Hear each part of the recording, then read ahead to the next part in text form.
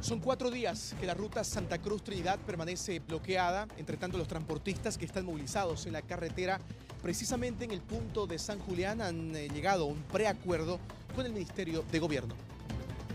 Varios los intentos de diálogo entre transportistas y autoridades nacionales para llegar a una solución al problema, los dirigentes del sector movilizado ponían como condición liberar a los bloqueadores detenidos, caso contrario no levantarían las medidas.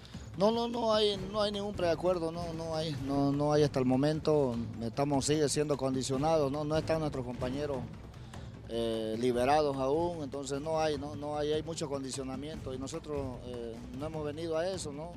Hemos venido a dialogar, hemos venido a que se nos, se nos liberan nuestros compañeros transportistas, ¿no?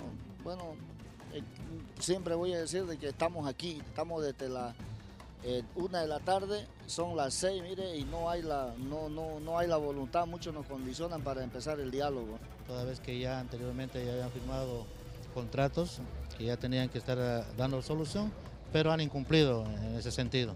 Es de esa manera que a partir de ahora con el diálogo esperemos que se continúe y se haga el arreglo de todos los caminos. Que haya un compromiso, quizás, quizás sea el último que se firme con los de ABC y que cumplan, pues, ¿no? Porque el, la molestia de incumplimiento que han hecho y que no se inician las obras en la carretera del tramo Paraíso Trinidad. Por su parte, el ministro de Gobierno, Carlos Romero, respondió indicando que mientras no levanten los bloqueos, el diálogo y la firma del acuerdo no se realizaría. Entonces nos ha sorprendido esta medida intempestiva, una medida injustificada, una medida que está perjudicando eh, a los productores, está perjudicando a los eh, pasajeros, está perjudicando los servicios, eh, más aún considerando el nivel de violencia que han aplicado eh, estas personas movilizadas ayer en San Julián contra la policía boliviana.